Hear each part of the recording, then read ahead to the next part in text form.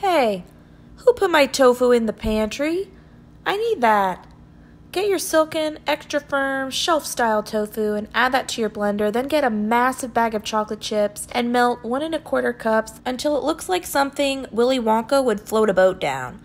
Add that to your blender, and then all we need is one cup of whatever milk you want. I'm using Elmhurst cashew milk, it's a really good one. Warm it up, then add it to your blender. Try not to spill. Mix until it's luscious and kind of tastes like chocolate mousse. Then fill your popsicle molds, add your popsicle sticks, and freeze. Once they're frozen, you're going to have amazing fudgesicles.